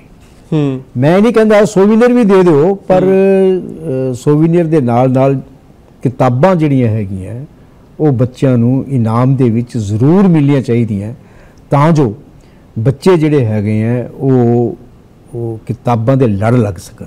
ਕਿਤਾਬਾਂ ਨਾਲ ਪਿਆਰ ਪੈਦਾ ਉਹਨਾਂ ਦਾ ਹੋਵੇ ਔਰ ਕਿਤਾਬਾਂ ਨੂੰ ਪੜ੍ਹਨ। ਔਰ ਜਿਹੜੀ ਕਿਤਾਬ ਤੁਹਾਨੂੰ ਇਨਾਮ 'ਚ ਮਿਲੀ ਹੈ ਉਹ ਤਾਂ ਤੁਹਾਡੇ ਵਾਸਤੇ ਬਹੁਤ ਅਜ਼ੀਜ਼ ਬਹੁਤ। ਅਜੀਜ਼ ਆ। ਅੱਛਾ ਮੈਨੂੰ ਇੱਕ ਗੱਲ ਹੋਰ ਦੱਸੋ। ਜਦੋਂ ਤੁਸੀਂ ਇੱਕ ਐਵਰੇਜ ਕਹਿ ਰਹੇ ਹੋ ਮੈਂ- ਨਾ ਇੱਕ ਨਾਵਲ ਵੈਸੇ ਹੀ ਪੜ੍ਹ ਰਿਹਾ ਸੀਗਾ ਤੇ ਮੈਨੂੰ ਵੱਡੇ ਭਰਾ ਨੇ ਰੋਕਤਾ ਵਰਜਤਾ ਵੀ ਭਾਈ ਇਹ ਨਾਵਲ ਨਾ ਪੜ੍ਹ। ਜੇ ਪੜ੍ਹਨਾ ਤਾਂ ਵਿਸ਼ਵ ਦਾ ਕਲਾਸਿਕ ਸਾਹਿਤ ਪੜ੍ਹ। ਤੁਹਾਨੂੰ ਤਾਂ ਤੁਹਾਡੇ ਭਰਾ ਨੇ ਵਰਜਤਾ। ਪਰ ਨਵੀਂ ਪੀੜ੍ਹੀ ਨੂੰ ਕੌਣ ਦੱਸੂਗਾ ਕੀ ਪੜ੍ਹਨਾ? ਹਾਂ। ਇਹ ਬੜਾ ਜ਼ਰੂਰੀ ਹੈ ਇਹ ਬਹੁਤ ਲਾਜ਼ਮੀ ਹੈ ਕਿ ਜਾਂ ਤਾਂ ਘਰ ਦੇ ਵਿੱਚ ਮਾਂ-ਬਾਪ ਕੋਈ ਵੱਡਾ ਭਰਾ ਕੋਈ ਵੱਡੀ ਭੈਣ ਕੋਈ ਇਹ ਗੱਲ ਦੱਸਣ ਵਾਲੀ ਹੋਵੇ ਕਿਤਾਬ ਨੂੰ ਸੁਜੈਸਟ ਕਰਨਾ। ਕਿਉਂਕਿ ਜੇ ਤੁਸੀਂ ਕੋਈ ਐਸੀ ਕਿਤਾਬ ਬੱਚਾ ਪੜ੍ਹ ਰਿਹਾ ਹੈ ਜਿਹਦੇ ਵਿੱਚ ਉਹਦਾ ਇੰਟਰਸਟ ਨਾ ਬੈਠੇ ਉਹਦੀ ਦਿਲਚਸਪੀ ਨਹੀਂ ਪੈਦਾ ਹੋ ਰਹੀ। ਤਾਂ ਹੋ ਸਕਦਾ ਉਹ ਕਿਤਾਬਾਂ ਤੋਂ ਬੇਮੁਖ ਹੋ ਜਾਏ। ਤੇ ਜੇ ਉਹਦੇ ਹੱਥ 'ਚ ਕੋਈ ਐਸੀ ਕਿਤਾਬ ਆਵੇ ਜਿਸ ਦੇ ਨਾਲ ਉਸ ਨੂੰ ਦਿਲਚਸਪੀ ਹੈ। ਤਾਂ ਉਹ ਕਿਤਾਬਾਂ ਦੇ ਲੜ ਲੱਗ ਜਾਊਗਾ ਇਹਦੀ ਜਿਹੜੀ ਸ਼ਨਾਖਤ ਹੈ ਕਿਤਾਬ ਦੀ ਉਹ ਵੱਡੇ ਵਡੇਰਿਆਂ ਦੇ ਉੱਤੇ ਡਿਪੈਂਡ ਕਰਦੀ ਹੈ ਜਾਂ ਤਾਂ ਕੋਈ ਟੀਚਰ ਸਹਾਇਤਾ ਕਰੇ ਹਾਂਜੀ ਜਾਂ ਸਕੂਲ ਦਾ ਲਾਇਬ੍ਰੇਰੀਅਨ ਸਹਾਇਤਾ ਕਰੇ ਜਾਂ ਕੋਈ ਹੈਡਮਾਸਟਰ ਜਾਂ ਕੋਈ ਦੋਸਤ ਦੱਸੇ। ਜਾਂ ਕੋਈ ਘਰ ਦਾ ਕੋਈ ਵੱਡਾ ਵਡੇਰਾ ਕੋਈ ਭਰਾ ਕੋਈ। ਭੈਣ ਕੋਈ ਦੱਸੇ ਜਾਂ ਕੋਈ ਗੁਆਂਢੀ ਜਿਹੜਾ ਹੈਗਾ ਕੋਈ ਅੱਛਾ। ਕੋਈ ਹੋਰ ਦੱਸੇ ਨਾ ਦੱਸੇ ਪਰ ਮੈਂ ਹੁਣ ਦੱਸ ਸਕਦਾ। ਹਾਂਜੀ। ਵੀ ਜੇ ਕਿਸੇ ਨੇ ਪੜ੍ਹਨਾ ਨਾ ਜੇ ਕਿਸੇ ਨੇ ਸਾਹਿਤ ਨਾਲ ਜੁੜਨਾ ਤਾਂ ਮੈਂ ਕਹ ਲਓ ਵੀ ਮੈਂ ਪੂਰੇ ਕਹ ਲਓ ਹਿੱਕ ਠੋਕ ਕੇ ਕਹਿਣਾ ਵੀ ਜੇ ਤੁਸੀਂ ਸ਼ੁਰੂ ਕਰਨਾ ਨਾ ਤਾਂ ਇਹ ਚੀਜ਼ਾਂ ਤੋਂ ਜ਼ਰੂਰ ਸ਼ੁਰੂ ਕਰੋ। ਤੁਸੀਂ ਪਹਿਲਾਂ ਜੰਗ ਬਹਾਦਰ ਗੋਇਲ ਜੀ ਦੇ ਇਹ ਪੰਜ ਕਿਤਾਬਾਂ ਨੇ ਪੰਜ ਵੋਲਿਊਮ ਆ ਇਹ ਪੜੋ ਫਿਰ ਤੁਸੀਂ ਕਹਿ ਲਓ ਵੀ ਖੁਦ ਨੂੰ ਇਹ ਇਹ ਸਮਝ ਪਾਓਗੇ। ਮੇਰੇ ਲਈ ਤੁਸੀਂ ਇੱਕ ਸ਼ਬਦ ਕਿਹਾ ਸੀ ਵੀ ਤੂੰ ਜਦੋਂ ਇਹ ਪੜ੍ਹੇਗਾ ਤਾਂ ਤੂੰ ਕੀ ਫੀਲ ਕਰੇਗਾ ਤੁਸੀਂ ਮੈਨੂੰ ਉੱਥੇ? ਹਾਂਜੀ ਇੱਕ ਇਸ ਤਰ੍ਹਾਂ ਹੈਗਾ ਜੀ ਇੱਕ ਜਿਹੜੀ ਆਤਮਿਕ ਔਰ ਬੌਧਿਕ ਅਮੀਰੀ ਹੈ ਨਾ ਜੀ ਹੂੰ ਹੂੰ ਹੂੰ। ਇਹ ਜੇਬ ਦੀ ਅਮੀਰੀ ਤੋਂ ਵੱਡੀ ਗੱਲ ਹੈ। ਬਿਲਕੁਲ। ਤੁਸੀਂ ਕੋਈ ਬਹੁਤ ਵਧੀਆ ਕਿਤਾਬ ਪੜ੍ਹ ਕੇ ਤੁਸੀਂ ਜ਼ਿਹਨੀ ਤੌਰ ਦੇ ਉੱਤੇ ਤੁਸੀਂ ਆਤਮਿਕ ਤੌਰ ਦੇ ਉੱਤੇ ਇੰਨੇ ਪ੍ਰਫੁੱਲਿਤ ਹੁੰਨੇ ਹੋ ਇੰਨੇ ਭਰੇ ਭਰੇ ਹੁੰਨੇ ਹੋ ਕਿ ਉਸ ਦੀ ਇੱਕ ਆਪਦੀ ਆਭਾ ਹੁੰਦੀ ਹੈ ਆਪਦੀ ਇੱਕ ਗਰਿਮਾ ਹੁੰਦੀ ਹੈ ਆਪਦੀ ਇੱਕ ਅਮੀਰੀ ਹੁੰਦੀ ਹੈ। ਤੇ ਹੀ ਮੈਂ ਤੁਹਾਨੂੰ ਕਿਹਾ ਸੀਗਾ ਵੀ ਇਹ ਕਿਤਾਬ ਪੜ੍ਹ ਕੇ ਤੁਸੀਂ ਬਹੁਤ ਜ਼ਿਆਦਾ ਪ੍ਰਫੁੱਲਿਤ ਬਹੁਤ ਜ਼ਿਆਦਾ ਅਮੀਰ ਮਹਿਸੂਸ ਆਤਮਿਕ ਅਮੀਰੀ। ਆਤਮਿਕ ਹਾਂ ਆਤਮਿਕ ਅਮੀਰੀ। ਜ਼ਿਹਨੀ ਅਮੀਰੀ। ਜ਼ੈਨੀ ਅਮੀਰੀ। ਸੋ ਗੱਲ ਇਹ ਹੈ ਜੀ ਗੱਲਾਂ ਬਾਤਾਂ ਜੇ ਆਪਾਂ ਅੱਗੇ ਤੋਰੀਏ ਇਹ ਤਾਂ ਹਲੇ ਵਿਸ਼ਵ ਸਾਹਿਤ ਦੀ ਗੱਲ ਹੀ ਕਰ ਰਿਹਾ ਸੀ ਮੈਂ। ਜੀ ਜੀ ਜੀ। ਤੇ ਜੇ ਅੱਗੇ ਗੱਲ ਕਰੀਏ ਸਾਹਿਤ ਸੰਜੀਵਨੀ ਇਹ ਕਿਤਾਬ ਇਸ ਕਿਤਾਬ ਬਾਰੇ ਮੈਂ ਤੁਹਾਨੂੰ ਮੈਂ ਤਾਂ ਮੈਂ ਤਾਂ ਖੁਦ ਜਦੋਂ ਮਹਿਸੂਸ ਕਰਿਆ ਨਾ ਜਦੋਂ ਮੈਨੂੰ ਪੜਿਆ ਤੇ ਮੈਨੂੰ ਇਹ ਲੱਗਿਆ ਵੀ ਹਰ ਇੱਕ ਨੂੰ ਆਪਦੇ ਸਰਾਣੇ ਰੱਖ ਕੇ ਸੋਣੀ ਚਾਹੀਦੀ ਹੈ ਇਹ ਕਿਤਾਬ। ਮੈਂ ਇਸ ਕਿਤਾਬ ਤੋਂ ਬਿਬਲੀਓਥੈਰੇਪੀ ਸਿੱਖੀ।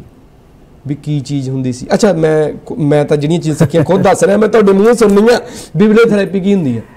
ਬਿਬਲੀਓ ਦਾ ਮਤਲਬ ਹੈਗਾ ਕਿਤਾਬ ਜੀ। ਹੂੰ। ਥੈਰੇਪੀ ਚਿਕਿਤਸਾ। ਹੂੰ। ਥੈਰੇਪੀ ਤਾਂ ਕਿਤਾਬਾਂ ਰਾਹੀਂ ਚਿਕਿਤਸਾ। ਇਹ ਜਿਹੜਾ ਕਨਸੈਪਟ ਜਿਹੜਾ ਹੈਗਾ ਇਹ ਪਹਿਲੀ ਵਾਰੀ 1916 ਦੇ ਵਿੱਚ ਸੈਮੂਅਲ ਬੈਰਿਸਟਰ ਕਰਕੇ ਸੀ। ਹਾਂ। ਉਹਨਾਂ ਨੇ ਇਹ ਪੇਸ਼ ਕੀਤਾ। ਹੂੰ ਹੂੰ। ਤਾਂ ਉਹਨਾਂ ਨੇ ਸਭ ਤੋਂ ਪਹਿਲਾਂ ਬਿਬਲੀਓਥੈਰੇਪੀ ਦਾ ਇਹ ਸ਼ਬਦ ਇਸਤੇਮਾਲ ਕੀਤਾ। ਪਰ ਇਹ ਤਾਂ ਯੁਗਾਂ ਯੁਗਾਂ ਤੋਂ ਬੜਾ ਪ੍ਰਾਚੀਨ ਕਾਲ ਤੋਂ ਹੀ ਜਦੋਂ ਦੀ ਦੇਖੋ ਸ਼ਬਦ ਦੀ ਮਹਿਮਾ ਹੂੰ। ਤਾਂ ਪ੍ਰਾਚੀਨ ਯੁੱਗ ਤੋਂ ਹਰ ਹਰ ਮਜ਼ਹਬ ਦੇ ਵਿੱਚ ਹੂੰ। ਸ਼ਬਦ ਦੀ ਮਹਿਮਾ ਦਾ ਗੁਣਗਾਨ ਗਾਇਆ ਗਿਆ। ਹੈ। ਆਪਾਂ ਨੂੰ ਵੀ ਤਾਂ ਕਹਿੰਦੇ ਸੀ ਵੀ ਮੰਤਰ ਮੰਤਰ ਦੇ ਨਾਲ ਉਪਚਾਰ ਹੁੰਦੇ ਸੀ। ਹੂੰ ਹੂੰ ਹੂੰ। ਮੰਤਰ ਦੇ ਨਾਲ ਅਸਾਧੇ ਰੋਗਾਂ ਦਾ ਉਪਚਾਰ ਹੁੰਦਾ ਸੀ। ਹੂੰ। ਤੇ ਉਹਨਾਂ ਨੇ 1916 ਚ ਜਦੋਂ ਉਹਨੇ ਬਿਬਲੀਓਥੈਰੇਪੀ ਦਾ ਨਾਮ ਦੱਸਿਆ ਹੂੰ। ਤੇ ਇਮੀਡੀਏਟਲੀ ਜਿਹੜੀ ਹੈਗੀ ਹੈ ਫਸਟ ਵਰਲਡ ਵਾਰ ਹੋਈ। ਹੂੰ। ਫਸਟ ਵਰਲਡ ਵਾਰ ਦੇ ਵਿੱਚ ਬੜੇ ਕੁਝ ਬਹੁਤ ਜ਼ਿਆਦਾ ਸੈਨਿਕ ਮਾਰੇ ਗਏ। ਜਿਹੜੇ ਬਚ ਗਏ ਉਹ ਸਰੀਰਕ ਤੌਰ ਦੇ ਉੱਤੇ ਹੀ ਸਿਰਫ ਅਪੰਗ ਨਹੀਂ ਹੋਏ ਉਹ ਜਜ਼ਬਾਤੀ ਤੌਰ ਤੇ ਵੀ ਬਿਲਕੁਲ ਟੁੱਟ ਗਏ। ਉਹਨਾਂ ਦੀ ਰੀਹੈਬਿਲਿਟੇਸ਼ਨ ਸਮਾਜ ਦੇ ਵਿੱਚ ਹੋਣੀ ਸੀ। ਤੇ ਉਸ ਵੇਲੇ ਸੋਚਿਆ ਗਿਆ ਕਿ ਦਵਾਈਆਂ ਦੇ ਨਾਲ ਨਾਲ ਇਹਨਾਂ ਯੁੱਧ ਪੀੜਤਾਂ ਨੂੰ ਕਿਤਾਬਾਂ ਦੀ ਵੀ ਜ਼ਰੂਰਤ ਹੈ। ਜੀ। ਤਾਂ ਇੱਕ ਵਾਰ ਲਾਇਬ੍ਰੇਰੀ ਜਿਹੜੀ ਹੈਗੀ ਹੈ ਉਹ ਬਣਾਈ ਗਈ। ਬਣਾਈ ਗਈ। ਤਾਂ ਉਸ ਦੇ ਵਿੱਚ ਇੱਕ ਜਨਤਕ ਅਪੀਲ ਪੇਸ਼ ਕੀਤੀ ਵੀ ਤੁਸੀਂ ਜੋ ਕਿਤਾਬਾਂ ਦਿਓ। ਕਿਤਾਬਾਂ ਆਈਆਂ। ਤਾਂ ਇਸ ਦੇ ਉੱਤੇ ਬੜੀ ਵੱਡੀ ਰਿਸਰਚ ਸ਼ੁਰੂ ਹੋਈ। ਉਹਨਾਂ ਨੇ ਇੱਕ ਗੱਲ ਕਹੀ ਕਿ ਜਿਹੜੀ ਕਿਤਾਬ ਜਿਹੜੀ ਹੈਗੀ ਹੈ ਪੁਸਤਕ ਜਿਹੜੀ ਹੈਗੀ ਹੈ ਇਹ ਸਾਡੀ ਸੋਚ ਨੂੰ ਬਦਲਦੀ ਹੈ। ਜੀ। ਤੇ ਸੋਚ ਦੇ ਵਿੱਚ ਜਿਹੜਾ ਬਦਲਾਅ ਹੈਗਾ ਇਹ ਕੈਮਿਸਟ ਦੀ ਕਿਸੇ ਵੀ ਦਵਾਈ ਦੇ ਨਾਲ ਸੋਚ ਨਹੀਂ ਬਦਲ ਸਕਦੀ। ਨਹੀਂ ਉਹ ਜਿਹੜਾ ਇੱਕ ਮੈਂਟਲੀ ਡਿਸਟਰਬ ਵੀ ਹੁੰਦਾ ਬੰਦਾ ਉਹ ਇੱਕੋ ਜਿਹੇ ਖਿਆਲ ਹਾਂ ਇੱਕੋ। ਜਿਹੇ ਚੱਕਰ ਚੱਕਰ ਚੁੰਡੇ 'ਚ ਫਸ ਜਾਂਦਾ ਹਾਂ। ਤੇ ਉਸ ਚੱਕਰ ਚੋਂ ਬਾਹਰ ਨਹੀਂ ਆ ਸਕਦਾ। ਉਹ ਜਿਹੜਾ ਇੱਕ ਥਾਟ ਦੇ ਚੱਕਰ ਨੂੰ ਤੋੜਨ ਦਾ ਇੱਕੋ ਇੱਕ ਢੰਗ ਇਹ ਹੈ ਕਿ ਕੋਈ ਬਰਾਬਰ ਦਾ ਕੋਈ ਬਹੁਤ ਸਟਰੋਂਗ ਥਾਟ ਜਿਹੜਾ ਹੈਗਾ ਉਹ ਦਿਮਾਗ 'ਚ ਆਵੇ ਜਿਹੜਾ ਉਸ ਨੂੰ ਬ੍ਰੇਕ ਕਰੇ। ਨਵਾਂ ਖਿਆਲ। ਨਵਾਂ ਕੋਈ ਖਿਆਲ ਆਵੇ ਜਿਹੜਾ ਉਹਨੂੰ ਬ੍ਰੇਕ ਕਰੇ।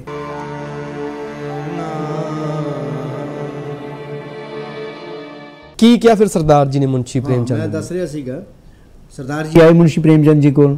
ਉਹਨਾਂ ਨੂੰ ਹੱਥ ਜੋੜ ਕੇ ਬੇਨਤੀ ਕੀਤੀ ਵੀ ਅੱਜ ਤੁਸੀਂ ਮੁਨਸ਼ੀ ਜੀ ਮੇਰੇ ਘਰੇ ਨਿਵਾਸ ਕਰੋ ਮੇਰੀ ਦਿਲੀ ਇੱਛਾ ਹੈ मुंशी कहते मेरी जेब तो मुश्किल है मैंने बनारस वापस जाना है सीट बुक है वो कहते नहीं कोई गल नहीं जी सीट ਦੀ ਕੋਈ ਗੱਲ ਨਹੀਂ ਮੈਂ ਤੁਹਾਨੂੰ ਕੱਲ ਨੂੰ ਗੱਡੀ ਚੜਾ ਦੂੰਗਾ वो कहते "आप इतनी जिद क्यों कर रहे हो क्यों लेकर जाना चाहते हो मुझे अपने घर ਹੂੰ ਉਹਦੇ ਜਵਾਬ ਦੇ ਵਿੱਚ ਜਵਾਬ ਸੁਣੋ ਉਹ ਕਹਿੰਦਾ ਜੀ ਵੀ ਇੱਕ ਜਨਮ ਤਾਂ ਮੇਰੀ ਮਾਂ ਨੇ ਦਿੱਤਾ ਸੀ ਇੱਕ ਜਨਮ ਤੁਸੀਂ ਮੈਨੂੰ ਦਿੱਤਾ। ਮੈਂ ਆਪਦੀ ਜ਼ਿੰਦਗੀ ਤੋਂ ਇੰਨਾ ਨਿਰਾਸ਼ ਔਰ ਪਰੇਸ਼ਾਨ ਹੋ ਗਿਆ ਸੀ ਕਿ ਮੈਂ ਇੱਕ ਦਿਨ ਆਤਮ ਹੱਤਿਆ ਕਰਨ ਦਾ ਵਿਚਾਰ ਬਣਾ ਲਿਆ।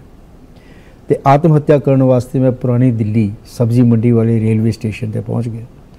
ਵੀ ਇੱਥੇ ਗੱਡੀ ਨਿਕਲੂਗੀ ਤੇ ਸਿਰ ਥੱਲੇ ਦੇਵਾਂਗੇ ਤੇ ਖੇਲ ਖਤਮ। ਤਾਂ ਉਹ ਗੱਡੀ ਕਹਿੰਦੇ ਲੇਟ ਹੋ ਗਈ ਤੇ ਉੱਥੇ ਸਾਹਮਣੇ ਕਿਤਾਬਾਂ ਦੀ ਦੁਕਾਨ ਬੰਦ ਸੀਗੀ। ਤੇ ਉਹਦੇ ਇੱਕ ਖੁੰਝੇ ਦੇ ਵਿੱਚ ਕੁਝ ਕਿਤਾਬਾਂ ਤੇ ਕੁਝ ਰਸਾਲੇ ਪਏ ਸੀ। ਜੀ। ਉਹਨਾਂ ਚੋਂ ਕਹਿੰਦਾ ਮੈਂ ਇੱਕ ਰਸਾਲਾ ਕੱਢ ਲਿਆ। ਹੂੰ। ਉਸ ਰਸਾਲੇ ਚੋਂ ਮੈਂ ਪੂਸ ਕੀ ਰਾਤ ਤੁਹਾਡੀ ਕਹਾਣੀ ਪੜ੍ਹੀ। ਹੂੰ। ਤੇ ਉਹ ਕਹਾਣੀ ਪੜ੍ਹ ਕੇ ਮੈਂ ਤਾਂ ਇੱਕਦਮ ਕੰਦਾ ਅਹ, ਆਪਣੇ ਆਪ ਦੇ ਵਿੱਚ ਮੈਨੂੰ ਇੰਨੀ ਚੇਂਜ ਮਹਿਸੂਸ ਹੋਈ ਇੰਨਾ ਪਰਿਵਰਤਨ ਮਹਿਸੂਸ ਹੋਇਆ ਵੀ ਇੰਨੀ ਮੇਰੀ ਬਦਤਰ ਹਾਲਤ ਹੈ ਨਹੀਂ ਜਿੰਨੀ ਇਸ ਦੇ ਨਾਇਕ ਦੀ ਹੈਗੀ ਹੂੰ। ਤੇ ਜ਼ਿੰਦਗੀ ਦੇ ਕੋਈ ਦਰਵਾਜ਼ੇ ਜਿਹੜੇ ਹੈਗੇ ਆ ਉਹ ਇਸ ਤਰ੍ਹਾਂ ਬੰਦ ਥੋੜੇ ਹੁੰਦੇ। ਮੈਨੂੰ ਜ਼ਿੰਦਗੀ ਨਾਲ ਮੁਕਾਬਲਾ ਕਰਨਾ ਚਾਹੀਦਾ। ਮੈਂ ਜੀ ਕਹਿੰਦਾ ਉੱਥੋਂ ਆਤਮ ਹੱਤਿਆ ਦਾ ਖਿਆਲ ਤਿਆਗਤਾ ਤੇ ਮੈਂ ਵਾਪਸ ਜ਼ਿੰਦਗੀ ਦੇ ਵਿੱਚ ਆ ਗਿਆ। ਤੇ ਅੱਜ ਮੈਂ ਦਿੱਲੀ ਦਾ ਸਭ ਤੋਂ ਵੱਡਾ ਟਰਾਂਸਪੋਰਟਰ ਹਾਂ। ਕੀ ਤੇ ਇੱਥੋਂ ਦੀ ਟਰਾਂਸਪੋਰਟ ਯੂਨੀਅਨ ਦਾ ਪ੍ਰਧਾਨ ਹੈ। ਤੇ ਮੇਰੇ ਕੋਲੇ 100 ਤੋਂ ਵੱਧ ਟਰੱਕ ਹੈ। ਤੇ ਇਹ ਜੋ ਮੇਰੇ ਕੋਲੇ ਹੂੰ ਇਹ ਤੁਹਾਡੀ ਕਿਰਪਾ ਨਾਲ ਹੈ ਤੁਹਾਡੀ ਕਹਾਣੀ ਦੀ ਬਦੌਲਤ ਹੈ। ਹੁਣ ਇਹ ਇਹ ਜਾਦੂ ਹੈ ਜੀ ਸਾਹਿਤ ਦਾ। ਤੇ ਇਹ ਕਿਹਾ ਜਾਂਦਾ ਹੈ ਵੀ ਸਾਹਿਤ ਜਿਹੜਾ ਹੈਗਾ ਹੈ, ਇਹ ਦੁੱਖ ਦੇ ਸਿਰ ਹੇਠਾਂ ਚੁੱਪ ਕੇ ਜੇ ਹੂੰ। ਤੁਹਾਡੇ ਸਿਰਾਣਾ ਰੱਖ ਦਿੰਦਾ ਹੈ। ਇਹ ਇਹ। ਜਿਹੜੀ ਸਾਹਿਤ ਦੀ ਸੰਜੀਵਨੀ ਆ ਇਹ ਵੀ ਸਰਾਣਾ ਇਹ ਵੀ ਸਿਰਾਣਾ ਇਹਦਾ ਇਹ ਤਾਂ ਜੀ ਇੰਨੇ ਤੁਸੀਂ ਅਦਬ ਜੀ ਹਰ ਰੋਜ਼ ਮੈਨੂੰ 5-7 ਟੈਲੀਫੋਨ ਆਉਂਦੇ ਆ ਇੰਨੇ ਲੋਕ ਭਾਵੁਕ ਹੋ ਕੇ ਗੱਲਾਂ ਕਰਦੇ ਆ ਹਾਂਜੀ ਵੀ ਕਿਸ ਤਰੀਕੇ ਦੇ ਨਾਲ ਉਹਨਾਂ ਦੀ ਜ਼ਿੰਦਗੀ ਨੂੰ ਇਹਨਾਂ ਨੇ ਇਸ ਕਿਤਾਬ ਨੇ। ਉਹਨੂੰ ਟੁੰਬਿਆ ਟੱਚ ਕੀਤਾ ਹੈ। ਅੱਛਾ ਜਿਹੜੀ ਇਹ ਜਿਹੜੀ ਡਿਪਰੈਸ਼ਨ ਦੀ ਬਿਮਾਰੀ ਆ ਜਾਂ ਕਹਿ ਲਓ ਵੀ ਇਹ ਜਿਹੜੀਆਂ ਚੀਜ਼ਾਂ ਨੇ ਇਹ ਵੱਡੇ ਵੱਡੇ ਲੇਖਕਾਂ ਨੂੰ ਵੀ ਇਹ ਚੀਜ਼ਾਂ ਨੇ ਤੰਗ ਕਰਿਆ ਟੈਗੋਰ ਨੋਬਲ ਪ੍ਰਾਈਜ਼ ਮਿਲਣ ਤੋਂ ਬਾਅਦ ਰਵਿੰਦਰਨਾਥ ਟੈਗੋਰ ਜੀ ਤੁਸੀਂ ਕਿਤੇ ਕਲਪਨਾ ਕਰ ਸਕਦੇ ਹੋ। ਕਿ 15 16 ਦੇ ਵਿੱਚ 1913 ਚ ਉਹਨਾਂ ਨੂੰ ਨੋਬਲ ਪ੍ਰਾਈਜ਼ ਨੋਬਲ ਮਿਲਿਆ ਪ੍ਰਾਈਜ਼ ਤੇ ਮਿਲਿਆ। 15 16 ਦੇ ਵਿੱਚ ਨੈਨੀਤਾਲ ਗਏ ਤੇ ਉੱਥੋਂ ਉਹਨਾਂ ਨੇ ਆਪਣੀ ਬੇਟੀ ਨੂੰ ਚਿੱਠੀ ਲਿਖੀ। ਵੀ ਮੈਂ ਅੱਜ ਕੱਲ ਬਹੁਤ ਸੀਰੀਅਸਲੀ ਆਤਮ ਹੱਤਿਆ ਕਰਨ ਵਾਸਤੇ ਸੋਚ ਰਹੀ 50 ਸਾਲ ਦੀ ਉਮਰ ਜਦੋਂ ਸਾਰੀ ਦੁਨੀਆ ਦੇ ਵਿੱਚ ਖਿਆਤੀ ਫੈਲੀ ਵੀ ਸੀ ਟੋਲਸਟਾਈ ਦੀ ਟੋਲਸਟਾਈ ਟੋਲਸਟਾਈ ਹੁੰਦੀ ਸੀ ਵੀ ਉਹਦੇ ਵਰਗਾ ਕੋਈ ਨੋਵਲਿਸਟ ਹੈ ਨਹੀਂ ਦੁਨੀਆ ਦੇ ਵਿੱਚ ਉਹ ਸ਼ਖਸ ਜਿਹੜਾ ਹੈਗਾ ਸੁਸਾਈਡ ਕਰਨ ਵਾਸਤੇ ਆਮਾਦਾ ਸੀ। ਆਪਦੇ ਸਰਾਣੇ ਰੱਸਾ ਰੱਖਿਆ ਹੋਇਆ ਸੀ। ਟੋਲਸਟਾਈ ਫਾਹਾ ਲੈਣ ਵਾਸਤੇ। ਉਹਦੀ ਵਾਈਫ ਨੇ ਚੁਕਵਾਇਆ। ਜਦੋਂ ਉਹ ਸ਼ਾਮ ਨੂੰ ਸੈਰ ਕਰਨ ਜਾਂਦੇ ਸੀ ਘੋੜੀ ਤੇ ਸਵਾਰ ਹੋ ਕੇ ਆਪਦੀ ਫਾਰਮ ਦੇ ਵਿੱਚ ਆਪਦੇ ਬਾਗ ਦੇ ਵਿੱਚ ਤਾਂ ਉਸ ਵੇਲੇ ਸੋਨੀਆ ਉਹਨਾਂ ਦੀ ਵਾਈਫ ਉਹਨਾਂ ਨੂੰ ਆਪਦੇ ਨਾਲ ਪਿਸਟਲ ਨਹੀਂ ਲੈ ਕੇ ਜਾਣ ਦਿੰਦੀ ਸੀ ਵੀ ਕਿਤੇ ਆਪਦੇ ਉੱਤੇ ਮਾਰ ਨਾ ਲੈਣ। ਮਾਰ ਨਾ ਲੈਣਾ। ਫੇਰ ਜਿਹੜਾ ਹੈਗਾ ਤੁਰਗਨੇਵ ਨੇ ਉਹਨਾਂ ਨੂੰ ਚਿੱਠੀ ਲਿਖੀ। ਉਹਨੂੰ ਛੱਡ ਗਏ ਸੀ ਨਾਵਲ ਨੂਵਲ ਲਿਖਣੇ। ਤੁਰਗਨੇਵ ਨੇ ਉਹਨਾਂ ਨੂੰ ਚਿੱਠੀ ਲਿਖੀ ਵੀ ਮੇਰੀ ਅਰਦਾਸ ਹੈ ਮੈਂ ਤਾਂ ਦੁਨੀਆ ਚੋਂ ਜਾ ਰਿਹਾ ਉਹਨਾਂ ਨੂੰ ਅੰਤਿਮ ਲੈਟਰ ਸੀ ਉਹਨਾਂ ਦਾ ਤੁਰਗਨੇਵ ਦਾ ਵੀ ਤੂੰ ਬਾਦਸ਼ਾਹ ਹੈ ਨਾਵਲ ਦੇ ਖੇਤਰ ਦਾ ਤੇ ਨਾਵਲ ਲਿਖਣਾ ਨਾ ਛੱਡ। ਫਿਰ ਉਹਨੇ ਸਿਰਫ ਤੁਰਗਨੇਵ ਵੀ ਕਿਹਾ ਵੀ ਤੁਰਗਨੇਵ ਨੇ ਮਰਦੇ ਹੋਏ ਮੈਨੂੰ ਇਹ ਕਿਹਾ ਵੀ ਨਾਵਲ ਲਿਖਣਾ। ਫਿਰ ਉਹਨੇ ਰੀਸਰੈਕਸ਼ਨ ਨਾਵਲ ਲਿਖਿਆ। ਫਿਰ ਦੁਬਾਰਾ ਜ਼ਿੰਦਗੀ ਦੇ ਵਿੱਚ ਵਾਪਸ ਆਏ। ਤਾਂ ਇਹ ਸਾਹਿਤ ਦਾ ਤਾਂ ਜੀ ਇੰਨਾ ਅਸਰ ਹੈ ਉਹ ਮਿੰਟੂ ਮੰਟੂ ਗੁਰਸਰੀਆ ਦੇਖ ਲਓ ਆਪਣਾ। ਡਾਕੂਆਂ ਦਾ ਮੁੰਡਾ ਉਹ ਫਿਲਮ ਵੀ ਆਈ ਹੈ। ਫਿਲਮ ਬਣੀ ਆ। ਉਹ ਉਹਨੇ ਆਪਦੀ ਜੀਵਨੀ ਲਿਖੀ ਡਾਕੂਆਂ ਦਾ ਮੁੰਡਾ। ਕਿੱਡਾ ਬੜਾ ਨਸ਼ੇੜੀ ਸੀ। ਹਾਂ। ਡਰੱਗਿਸਟ ਸੀ ਗੈਂਗਸਟਰ ਸੀ। ਜੀ। ਤੇ ਕਿਤਾਬ ਜਿਹੜੀ ਹੈਗੀ ਹੈ ਉਹਨੇ ਭਗਤ ਪੂਰਨ ਸਿੰਘ ਦੀ ਕਿਤਾਬ ਪੜ੍ਹੀ ਤੇ ਜ਼ਿੰਦਗੀ ਚੇਂਜ ਹੋ ਗਈ। ਬਦਲ ਬਦਲ ਗਈ। ਬਦਲ ਗਈ ਜੀ। ਨਸ਼ੇ ਛੱਡਤੇ। ਉਹ ਇੱਕ ਅੱਛਾ। ਟਰਾਂਸਫਾਰਮੇਸ਼ਨ ਕਿਤਾਬਾਂ ਦੇ ਵਿੱਚ ਵੀ ਨਸ਼ਾ ਹੁੰਦਾ? ਸਭ ਤੋਂ ਵੱਡਾ ਨਸ਼ਾ ਮੇਰੇ ਵੱਡੇ ਭਾਈ ਸਾਹਿਬ ਕਹਿੰਦੇ ਹੁੰਦੇ ਸੀ ਕਿ ਇਸ ਨਸ਼ੇ ਦੇ ਸਾਹਮਣੇ ਦੁਨੀਆ ਦੇ ਸਾਰੇ ਨਸ਼ੇ ਫਿੱਕੇ ਹੈ। ਫਿੱਕੇ। ਜਿਹਨੂੰ ਇਹ ਨਸ਼ਾ ਪੜਨ ਦਾ ਪੈ ਗਿਆ ਤਾਂ ਉਹ ਹੋਰ ਕਿਸੇ ਨਸ਼ੇ ਨੂੰ ਸਵੀਕਾਰ ਹੀ ਨਹੀਂ ਕਰ ਸਕਦਾ। ਨਹੀਂ ਬੜੇ ਕਹਿੰਦੇ ਆ ਵੀ ਉਹਨਾਂ ਦਾ ਨਾ ਬੜਾ ਦਿਲ ਵੀ ਕਰਦਾ ਪੜਨ ਦਾ ਪਰ ਟਾਈਮ ਨਹੀਂ ਹੁੰਦਾ ਤੇ ਕੀ ਕਰੀਏ ਹਨਾ? ਇਹ ਬਹਾਨੇਬਾਜ਼ੀ ਹੈ ਜੀ।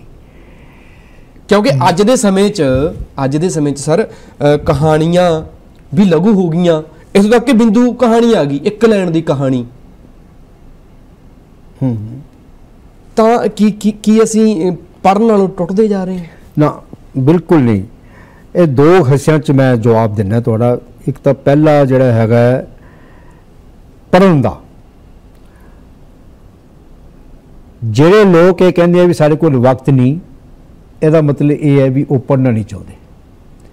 ਰੂਜ਼ਵੈਲਟ ਅਮਰੀਕਾ ਦਾ ਪ੍ਰਧਾਨ ਸੀ ਰਾਸ਼ਟਰਪਤੀ ਸੀ। ਹਾਂਜੀ। ਤੁਸੀਂ ਇਮੇਜਿਨ ਕਰ ਸਕਦੇ ਹੋ ਵੀ ਇੱਕ ਦਿਨ ਦੇ ਵਿੱਚ ਤਿੰਨ ਕਿਤਾਬਾਂ ਪੜ੍ਹਦਾ ਸੀ। ਇੱਕ ਦਿਨ 'ਚ ਤਿੰਨ ਕਿਤਾਬਾਂ। ਨੈਪੋਲੀਅਨ ਵਰਗਾ ਜਰਨੈਲ ਨੈਪੋਲੀਅਨ ਵਰਗਾ ਨੈਪੋਲੀਅਨ ਦੀ ਗ੍ਰੇਟ ਕਹਾ ਗਿਆ। ਹੂੰ। ਜਿੱਥੇ ਜਾਂਦਾ ਸੀਗਾ ਉਹਦੇ ਲੜਾਈ ਤੋਂ ਪਹਿਲਾਂ ਹੀ ਹਥਿਆਰ ਛੱਡ ਦਿੰਦੇ ਸੀ ਲੋਕ। ਹਾਂਜੀ। ਉਹ ਯੁੱਧ ਦੇ ਮੈਦਾਨ ਦੇ ਵਿੱਚ ਵੀ ਕਿਤਾਬਾਂ ਦਾ ਬਕਸਾ ਉਹਦੇ ਨਾਲ ਲੈ ਕੇ ਜਾਂਦਾ ਸੀ। ਲਾਇਬ੍ਰੇਰੀਅਨ ਉਹਦੇ ਨਾਲ ਹੁੰਦਾ ਸੀ। ਜੀ। ਤੇ ਜਿੱਥੇ ਵੀ ਉਹ ਆਪਦੇ ਕੈਂਪ 'ਚ ਬੈਠਾ ਉਹ ਕਿਤਾਬਾਂ ਪੜ੍ਹਦਾ ਸੀ। ਤਾਂ ਕਿਤਾਬ ਜਿਹਨੇ ਪੜ੍ਹਨੀ ਹੈ ਉਹਦੇ ਵਾਸਤੇ ਸਮਾਂ ਹੀ ਸਮਾਂ ਹੈ। ਸਮਾਂ ਹੀ ਤੇ ਸਮਾਂ। ਜਿਹਨੇ ਨਹੀਂ ਪੜ੍ਹਨੀ ਉਹਦੇ ਵਾਸਤੇ ਸਮਾਂ ਹੈ ਹੀ ਨਹੀਂ। ਤੇ ਹੁਣ ਸਮੇਂ ਦੂਜੀ ਗੱਲ। ਸਮੇਂ ਦੀ ਗੱਲ ਆ ਦੂਜੀ ਦੂਜੀ। ਗੱਲ। ਦੂਜੀ ਗੱਲ ਵੀ ਜਿਹੜੇ ਅੱਜਕੱਲ ਨੌਜਵਾਨਾਂ ਦੇ ਵਿੱਚ ਪੜ੍ਹਾਈ ਦਾ ਤੇ ਬਿੰਦੂ ਉਹ ਅੱਜਕੱਲ ਛੋਟੇ ਛੋਟੀਆਂ ਲਘੂ ਕਹਾਣੀਆਂ ਚੱਲ ਪਈਆਂ ਤੇ ਫਲਾਣਾ। ਕਿਤਾਬਾਂ ਦਾ ਭਵਿੱਖ ਜਿਹੜਾ ਹੈਗਾ ਮੈਂ ਤਾਂ ਜੀ ਬਹੁਤ ਆਸਵਾਨ ਹੈ। ਆ ਪਿੱਛੇ 14 ਤਰੀਕ ਤੋਂ ਲੈ ਕੇ 18 ਫਰਵਰੀ ਤੱਕ ਇੱਥੇ ਮੇਲਾ ਲੱਗਿਆ ਸੀਗਾ ਪੁਸਤਕ ਮੇਲਾ ਖਾਲਸਾ ਕਾਲਜ ਅੰਮ੍ਰਿਤਸਰ। 1 ਕਰੋੜ ਰੁਪਏ ਦੀਆਂ ਕਿਤਾਬਾਂ ਵਿਕੀਆਂ। 1 ਕਰੋੜ ਰੁਪਏ ਦੀਆਂ। ਉਦੋਂ 2 ਮਹੀਨੇ ਪਹਿਲਾਂ ਹੀ ਫਰੀਦ ਸਤੰਬਰ ਦੇ ਵਿੱਚ ਫਰੀਦ ਮੇਲਾ ਲੱਗਿਆ। ਬਾਬਾ ਫਰੀਦ ਜੀ ਦਾ। ਫਰੀਦਕੋਟ। ਹਾਂਜੀ। ਉਸ ਤੋਂ ਬਾਅਦ ਬਠਿੰਡੇ ਲੱਗਿਆ। ਹੂੰ। ਉਹ ਦੋਨੋਂ ਮੇਲਿਆਂ ਦੇ ਵਿੱਚ 1.5 ਕਰੋੜ ਰੁਪਏ ਦੀਆਂ ਕਿਤਾਬਾਂ ਵਿਕੀਆਂ ਇਹ ਗੱਲ ਸੋਚਣ ਵਾਲੀ ਆ ਖੈਰ ਵੀ ਕਿਤਾਬਾਂ ਇੰਨੀਆਂ ਕਿਤਾਬਾਂ ਲਿਖੀਆਂ ਵੀ। ਯੂਥ ਜੁੜ ਰਿਹਾ ਕਿਤਾਬਾਂ ਦੇ ਨਾਲ। ਬਹੁਤ ਜ਼ਿਆਦਾ ਬਹੁਤ ਸਰ ਮੈਂ ਤੁਹਾਡੀਆਂ ਗੱਲਾਂ ਨਾਲ ਜੁੜ ਰਿਹਾ। ਬਹੁਤ ਸ਼ੁਕਰੀਆ ਸੱਚੀ। ਸ਼ੁਕਰੀਆ। ਪਰ ਵੇਲਾ ਨਾ ਇੱਕ ਤੁਹਾਡੇ ਤੋਂ ਇਸ ਵਾਰੀ ਇਸ ਪ੍ਰੋਗਰਾਮ 'ਚ ਇਜਾਜ਼ਤ ਲੈਣ ਦਾ ਹੋ ਗਿਆ ਕਿਉਂਕਿ ਸਮੇਂ ਦਾ ਕਹਿੰਦੋ ਵੀ ਸਮੇਂ ਦਾ ਘੋੜਾ ਸਮੇਂ ਦਾ ਚੱਕਰ ਚੱਲਦਾ ਰਹਿੰਦਾ। ਠੀਕ ਹੈ, ਬਿਲਕੁਲ, ਸੋ। ਅਗਲੇ ਐਪੀਸੋਡ 'ਚ ਆਪਾਂ ਟੂ ਵੀ ਕੰਟੀਨਿਊ ਕਰਾਂਗੇ। ਗੱਲਾਂ ਇਦਾਂ ਹੀ ਅੱਗੇ ਹਲੇ ਵਿਸ਼ਵ ਦੇ ਸਾਹਿਤ ਕਹਿ ਲਓ ਵਿਸ਼ਵ ਸਾਹਿਤ ਦੇ ਸ਼ਾਹਕਾਰ ਨਾਵਲਾਂ ਦੀ ਗੱਲ ਹੋਈ ਆ ਸਾਹਿਤ ਸੰਜੀਵਨੀ ਦੀ ਗੱਲ ਹੋਈ ਆ ਮੁਹੱਬਤਨਾਮਾ ਰਹਿੰਦਾ ਬੜਾ ਕੁਝ ਹੋਰ ਪਿਆ ਜਿਹੜਾ ਆਪਾਂ ਗੱਲਾਂ ਬਾਤਾਂ ਕਰਨੀਆਂ। ਸਰ ਤੁਸੀਂ ਸਾਡੇ ਨਾਲ ਬਣੇ ਰਹੋ ਤੇ ਤੁਹਾਡੇ ਤੋਂ ਮੈਂ ਲੈਣਾ ਇਜਾਜ਼ਤ ਮੈਨੂੰ ਦਿਓ ਇਜਾਜ਼ਤ ਆਪਣਾ ਰੱਖੋ ਖਿਆਲ ਜੁੜੇ ਰਹੋ ਜਸ ਪੰਜਾਬੀ ਦੇ ਨਾਲ। ਸਤਿ ਸ਼੍ਰੀ ਅਕਾਲ।